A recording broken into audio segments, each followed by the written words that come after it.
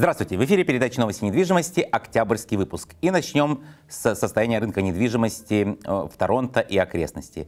Как вы знаете, после двух поднятий, которые прошли летом, э, цены опять пошли вниз, и продажи тоже пошли вниз. Если мы посмотрим на этот граф, вы видите вот этот всплеск, который прошел в апреле-мае, практически полностью э, сошел на нет уже в сентябре месяце. То есть продажи резко падают, Э, единственные сегменты, которые еще растут продажи, это отдельно стоящие дома в Торонто и кондо в районе 905, то, что вне э, э, Торонто. Э, посмотрите на эти графы, что отдельно стоящие дома, что кондо, продажи на самом низком уровне за последние 10 лет. Э, что касается новых э, предложений на продажу, и они стремительно растут. Стремительно растут. Если мы раньше говорили, что листингов не хватает, сейчас все больше и больше. Опять же, это не везде и не одинаково, но тем не менее в среднем количество предложений э, постоянно растет. И если мы посмотрим даже вот на этот граф отдельно стоящих домов в Большом Торонто, то мы видим, когда-то их было мало в начале года, вот в апреле, когда цены пошли вверх, а теперь они стремительно-стремительно идут предложения вверх. То есть мы практически на самом пике предложений за последние 10 лет. То же самое касается и Кондо. Если мы посмотрим соотношение новых предложений и продаж, то мы находимся на очень низком уровне. На таком уровне мы были в 2018 году, когда тоже э, был жилищный кризис. Ну и посмотрим на цены. Цены э, пошли вниз э, после пика, который был в 2022 году, и немножко он все-таки завернул и пошел вверх. А, и опять, видите, маленький такой чубчик, что он заворачивает, опять идет вниз. Посмотрим опять же, что происходит с condo. Этот граф уже видели неоднократно, но он не улучшается, а только ухудшается. Поэтому если э, кто-то инвестирует в condo, э, вы можете посмотреть, что сегодня отрицательное cash flow при покупке condo в среднем достигает почти полторы тысячи долларов в месяц. Даже с учетом того, что mortgage выплачивается, мы все равно около тысячи долларов в месяц теряем. То есть мы теряем около 10 тысяч и больше э, в год, как только мы купили кондо. То есть все, вся надежда только на один рост. Поэтому э, главный удар именно прошелся по кондо. Кондо продаются очень тяжело и, и очень большой кризис кондо сейчас в, в Большом Торонто. И вернемся сейчас к экономическим показателям. Инфляция. Мы кричали «Ура!» летом, когда инфляция дошла до уже 2,8, потом она поднялась немножко, 3,3 стала, потом стала 4. И э, следующий показатель инфляции уже говорят, что она продолжает расти. И как уже многие обозреватели говорили, я говорил это в прошлых передачах, о том, что то, что поднимается интерес, он не улучшает положение с инфляцией, а наоборот ухудшает, потому что все расходы на, на жилье только растут, рент растет, а также э, платежи по моргичам растут, и это не улучшает, а добавляет инфляцию. Что сделает Банк Канады в ближайшее время, мы это увидим. Теперь, э, по поводу безработицы. Мы говорили, что мы находимся на, на очень низком уровне безработицы, и приложение новых вакансий все росло и росло после того, как мы начали выходить с пандемии. Теперь, если вы видите, все изменилось, мы идем обратно вниз. Сейчас мы находимся на уровне пандемии примерно.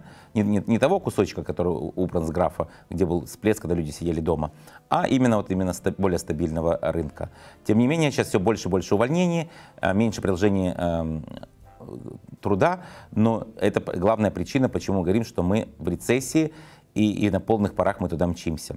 Также это видно по GDP, которым нам говорят, что она вроде положительная, но если мы возьмем на душу населения, то в принципе GDP у нас а, отрицательная, и если она продержится так следующий квартал, то мы уже официально в рецессии. А что касается нового строительства. Все говорят о том, что стройки заморожены. Если вы посмотрите на граф Кондо, Кондо стремительно рос. Количество Кондо строилось очень много в Торонто. Вообще Торонто самый строящийся город э, в Северной Америке, именно с точки зрения Кондо. Даже говорили, что там самое большое, большое количество кранов. Что же касается отдельно стоящих домов, то за последние 20 лет практически не изменялось количество построенных отдельно стоящих домов. То есть кризис э, отдельно жилищных домов очевиден, их очень сильно не хватает. И вот здесь вот цифры, о которых я уже неоднократно говорил. А, за 10 лет э, население, это был projection, выросло на миллион сто пятьдесят тысяч. И э, средняя, значит, если мы скажем средний размер семьи 2,5, то мы видим, что где-то 460 тысяч семей добавилось за 10 лет. То есть эм, если возьмем, посмотрим, сколько начина... новое строительство строится а, в, в Онтарио, то мы видим, что это 36 тысяч а, единиц жилья в год. То есть за 10 лет было создано 366 тысяч жилья. То есть мы уже находимся в 93 тысячи недостатка жилья. Это было до пандемии. Сейчас э, эти показатели намного-намного хуже, потому что, как вы знаете, количество приезжающих стремительно растет. И вы помните, как CMHC э, поставил планку и сказал, для того, чтобы достигнуть э, доступное жилье, мы должны построить за следующие 10 лет полтора миллиона жилья. Все мы похлопали, и мы не доходим даже до половины плана. А, почему все это происходит и, и что надо делать, я скажу в конце этого видео. И вы сразу поймете, что нужно делать для того, чтобы защититься от этого а, ужаса, который происходит с экономикой, с этим печатанием денег и прочими делами. Ну а пока дальше. Значит, давайте посмотрим на, на то, сколько строится единиц жилья а, в разных провинциях. И когда мы говорим, что где-то есть всплеск, э, где-то всплеск строительства, где-то всплеск роста цен, то посмотрите на то, что нас ожидает в будущем. Если мы возьмем, сравним, скажем, Онтарио и Альберту, то есть в Онтарио 680 а, тысяч единиц жилья строится, да, построено, а нехватка миллион четыреста восемьдесят тысяч для того, чтобы достигнуть доступного, доступных цен. Когда же мы посмотрим на Альберту, там 360 тысяч построено, а нехватка 130 тысяч. Тоже нехватка, но это примерно 30% от того, что построено. Нехватка же э, в, в Торонто это где-то 300%. То есть, понимаете, не Торонто, а имеется Онтарио. То есть 300% нехватки. Это говорит о том, что цены просто взорвутся, как только ослабят вот этот вот, вот узду, которая называется банковский интерес. Нехватка огромная. И она только увеличится, потому что все больше и больше строителей останавливают свои стройки. Посмотрите на большую семерку, о том, сколько есть жилья на душу населения, вот это из расчета, допустим, тысячу, а, тысячу единиц населения большой семерки. Мы находимся на последнем месте. То есть у нас самая большая нехватка жилья по большой семерке. Потом идет а, Америка, и потом идет э, United Kingdom. Да? А все остальные у них, наоборот, избыток. Вот поэтому такие цены. И если мы посмотрим по поводу роста населения, то мы видим опять же, что прирост населения у нас самый большой из большой семерки. Отрицательный только сейчас в и Японии, а мы на первом месте по росту населения. И это видно на этом графе. Если, например, за 5 лет, с 2007 по 2015 год, а, миллион семьсот тридцать шесть тысяч увеличилось население, то с 2015 по 2023 на 3 миллиона 780 тысяч. Это огромнейший скачок и многие его не предвидели. Вообще, э, если посмотреть статистику, мы очень сильно отстаем от прогнозов э, правительства. Такое ощущение, что правительство и все, и все остальное действует несогласованно. И вы видите вот этот э, скачок после пандемии, почти миллион двести тысяч человек приехало только за прошлый год. Миллион двести тысяч человек. Это огромная сумма. Из чего это составляется? Конечно, подавляющая доля – это не перманент резиденты. И вот если мы посмотрим на этот граф, то мы увидим, что где-то в районе 400 с чем-то тысяч это была иммиграция, и около 700 тысяч это были не перманент резиденты. То есть это студенты, и это э, также иностранные рабочие, которых не хватает здесь, и, и, и поэтому привозится в больших количествах. То есть, ну, естественно, э, беженцы с Украины тоже внесли свою лепту. То есть миллион двести тысяч человек за 22 год приехало в Канаду. Это не запланировано. Запланировано было 500 тысяч. То есть нехватка огромная-огромного жилья. И если мы посмотрим э, International Migration, когда многие говорят, ой, из Онтарио уезжают, потому что в Онтарио все очень дорого, многие уезжают. Да, действительно уезжают. Посмотрите на эту красную линию, это тот, кто уезжает. Посмотрите на зеленую линию, это не перманент резиденты. На синюю линию это иммиграция приезжает в разы, в разы больше, чем уезжают. И если мы посмотрим на график вот этого Net Interprovincial Migration, мы видим, что отрицательный баланс в Онтарио, самый большой, 40 тысяч человек уехало, а самый большой прирост это в Альберте, более 50 тысяч человек приехало. Казалось бы, большие цифры, но что такое э, такие цифры в размере Онтарио? Посмотрите на этот граф. Если мы посмотрим из тех всех огромных баснословных цифр, которые я сказал, это иммиграция, приезд non-permanent residence, то 44%, 44% всей этой массы людей приезжает в Онтарио. Это колоссальные цифры, это больше, чем полмиллиона.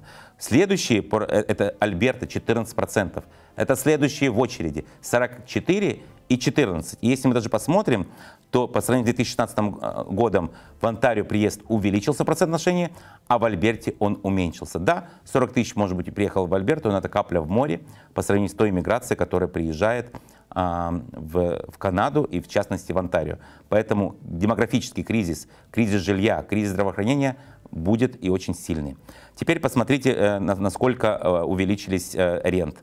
Мы, это, это баснословные цифры, насколько увеличился в среднем аренд в Торонто. Да? Вот. И он постоянно расти. Да, он иногда идет вверх, иногда вниз. Когда была пандемия, немножко пошел вниз, потом опять вверх. Но видно тренд. Тренд идет вверх. То есть цены на аренду растут. И э, мы видим, что какой э, сильный CPI, это вот часть инфляции, составляет именно э, жилье.